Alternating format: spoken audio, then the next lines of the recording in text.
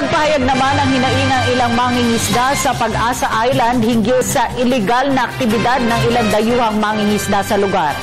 Ayon naman sa AFP, inaaksyonan na nila ang naturang usapin. Nagbabalik si Waywaya Makalma. Ang West Philippine Sea o kilala din sa tawag na South China Sea sa likas na yaman dagat.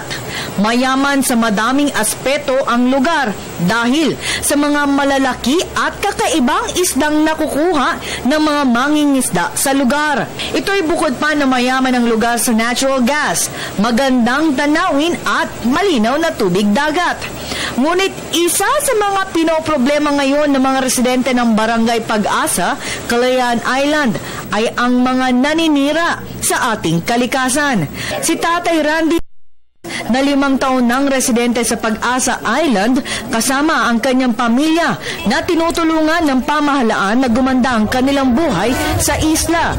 Isa si Tatay Randy Dacanos na pangingisda ang kabuhayan. Kanyang ikinuwento sa PTV4 News Team na dati-rati ay madami siyang nahuhuling isda na malapit lang sa isla. Pero hindi tulad ngayon na kailangan na niyang lumayo sa isla makapagpangisda lamang. Anya, harap-harapan ay naghahagis ng pampasabog ang ibang mangingisda sa ibang bansa habang sila ay nangingisda din.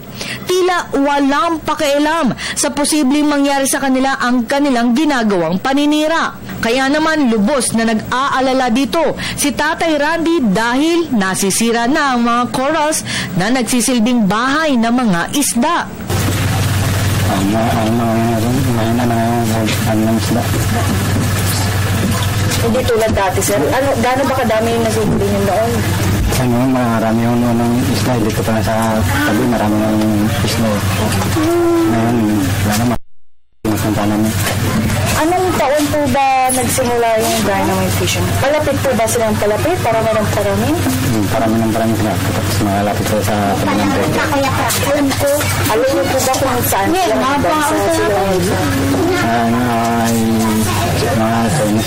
Dagdag pa ni Tatay Randy na kanya naman itong inire-report sa mga kinauukulan.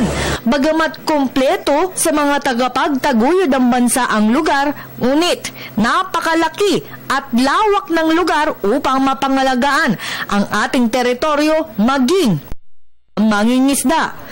Pero iginiit ni AFP Commander Western Command Vice Admiral Alexander Lopez na may ginagawa sila sa problemang kinaharap ng mga mangisda. Bagamat hindi na ito inilahad ng opisyal kung papaano nila ito ginagampanan. If it is parang wala tayong magawa, but we're doing something about that. Ang pamilya Dacanos ang isa lamang sa higit dalawang daang residenteng nakatira sa mga pinag-aagawang teritoryo sa West Philippine Sea.